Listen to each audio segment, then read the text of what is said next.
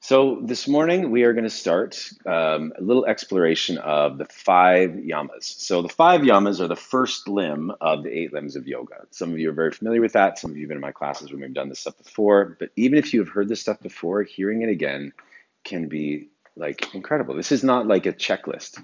We like shopping lists where we, you know, pick up the avocados, pick up the almond milk. Oh no, you can't get almond milk anymore. Oat milk. So we like those things where we check it and it's done.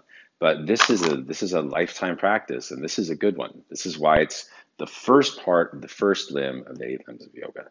So the first of the eight limbs of yoga is ahimsa. Ahimsa. It's a two-part word. The A is like non, and the himsa part is harming. So the simple translation of this Teacher trainees, take note. This is on the exam. Ahimsa, non-harming. And if you just write that down in your exam, bam, you're going to get your mark. But that is not really what ahimsa is all about.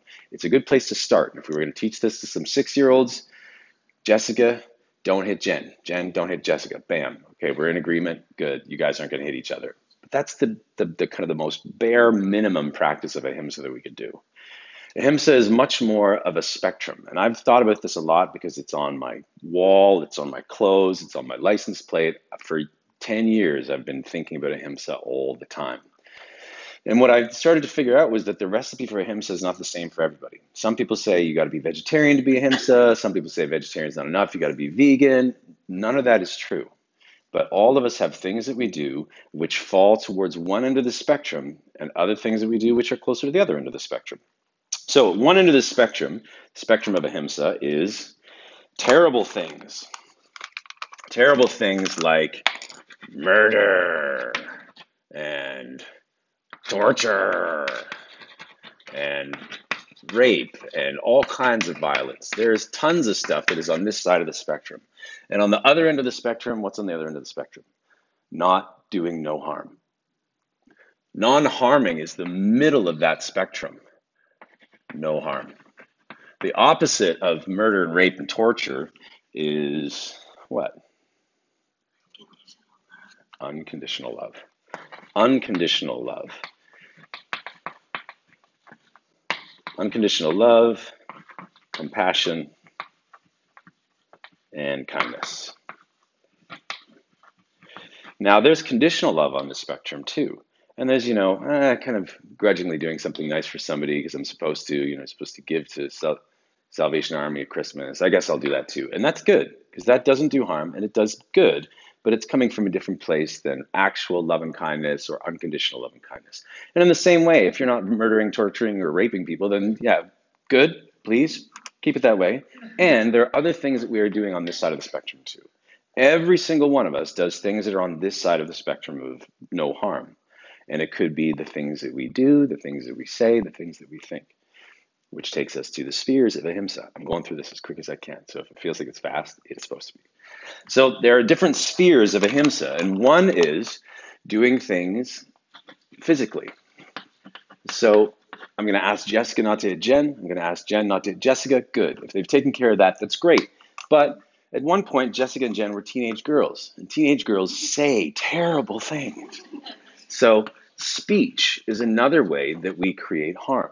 Even if, like, at this age, most of us are not like dropping the gloves and getting into the fisticuffs too often.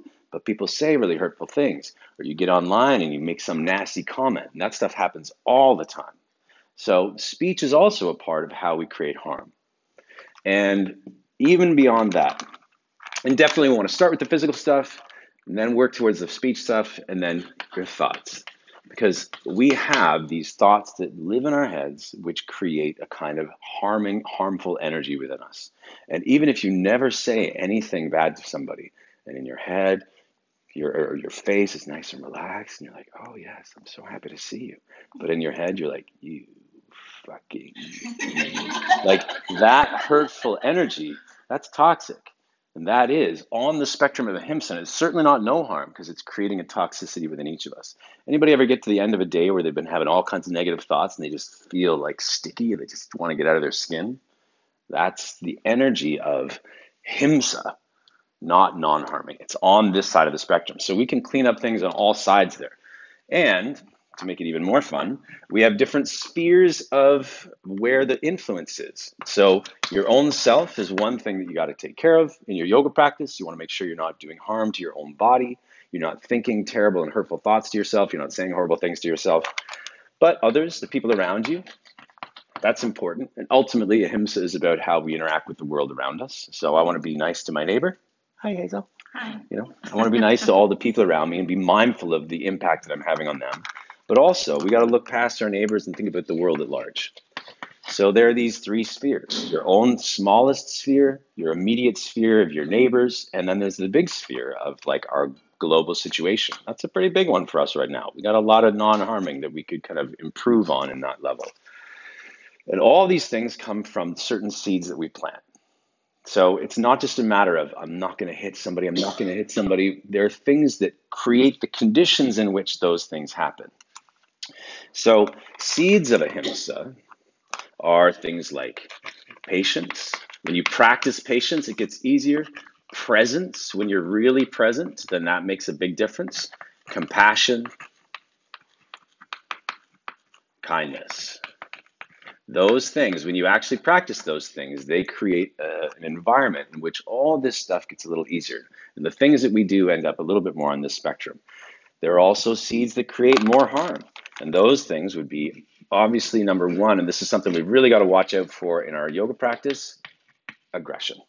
And sometimes you might not recognize certain things as aggression, but if you're ever in a pose and you start to grit your teeth and your lips get really tight, I can see that on your face. It's scary because it is the seeds of harm. Now, you're not likely to get up and like intentionally hurt your hamstrings or something like that. But when somebody is driving from that place of aggression in their practice, their thinking is different and they're willing to push through certain kinds of pain and discomfort because they've got an idea that they're attached to. I'm getting this. This is mine. Ah. And those seeds of aggression, when they're not in place, people don't get hurt in yoga. When you're pushing and overriding those things with that drive, that need to go further, then the likelihood of getting injured, very little. So that's all a part of practicing non-harming towards your body, physically body, physical body, but also your psychology and your emotional state. Because we can be real hurtful towards ourselves when we feel like we're not doing good enough, we are not good enough. All that stuff is a really important part of our practice. And we're planting the seeds with every moment in our practice, every breath, every posture, every time. Now, in addition to aggression, we're almost done here. See, I've got almost no more space to write on the board.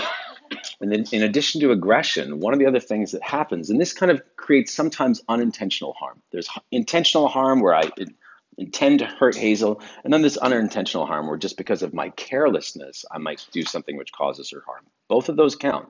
They both land on the side of harming. Intentional is a little further on that spectrum. Unintentional is not quite as far, but it's still hurtful. Like if I crash my car into Hazel's car, her car is still fucked up. So we need to be mindful. One of the unintentional and kind of unconscious seeds of himsa, harming, is hastiness.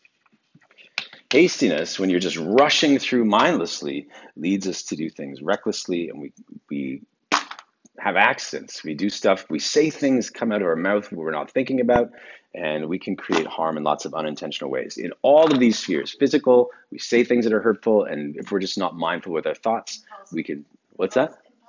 Yeah, impulsive. And then you're like, ah, I really shouldn't have done that. And if we're not practicing hastiness, or if we're not doing things in a hasty way, it's much less likely that's gonna, that's going to happen. So one more in this is selfishness. Now, the journey towards enlightenment is the journey away from selfishness. And there's a certain amount of self interest that we all have to practice. Like, you guys are on your mat, not to help Amanda, except Amanda. Amanda's here to help herself. But if we exclusively think about our own situation, we're only taking care of our own stuff, and we just ignore everything around us because it's inconvenient, then we start to do things which are harmful to others, right? I'm just taking care of myself, my family, my house. And then if I got nothing else to do, I'll take care of Maryland too. We have to think a little bit bigger than that as soon as we can afford to. Now, survival is a different thing, but most of us, if you're here on a Monday morning at 10 a.m., survival is not your issue.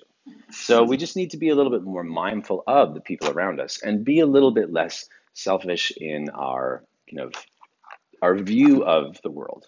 Very important. We got some big problems right now, like big problems, like on so many different levels. And those cannot be solved through selfish thinking, selfish behavior. So that's what we're going to do today. Um, this is a, a, a restrictive word, non harming, don't hurt, but there's a proactive element to it. And that's this practice of love, compassion, and kindness. You can't, it's very hard to practice unconditional love. But as you do more things in that realm of being compassionate, being kind, then the unconditional part comes more naturally. And the less selfish we are in our activities first, our actions, and then our speech that starts to influence our thoughts. And then the unconditionalness comes relatively kind of easier, sort of. Yeah, that's the idea. Now, it's not a measure, it's not a test. It's not like we're going to award, you know, a Ahimsa Yogi of the Year award to Hazel because she's the most, you know, patient and present and all that stuff. Every one of us has things that we do which are on this side of the spectrum. And we're not measuring ourselves against Gandhi or Mother Teresa or anybody else. We're just trying to look at what are the things we are doing that are furthest on this end of that spectrum, on our mat and off our mat, and seeing if we can erase some of those things and drop a couple more seeds on this side. And every person has stuff they can do on both ends of that. I mean, think about the, I mean, just think about the balance. Who wants to live more on this side? Nobody. Fictional characters. That's the only the only people who want to do that is fictional characters. And every real person wants to move at least some direction in this, even if it's scary. This is kind of where we're all trying to go. So if this is the only yoga class you ever did, if this is the only limb, oh, the only yama of the only limb you ever heard of, and you actually applied this and continue to refine it and re-examine it for the rest of your days, it would lead to a, probably a pretty beautiful life. That's good. Cool. No Hanumanasana is ever going to do that. No handstand is ever going to do that. This this one practice applied consistently and reevaluated consistency consistently is a life changing practice, and that is why it's on my shirt. That is why it's the name of this place. That's why I drive around with it on my little Prius. Doot, doot. So let's do it. Um, sound good? Ready? Uh, let's come to our mats.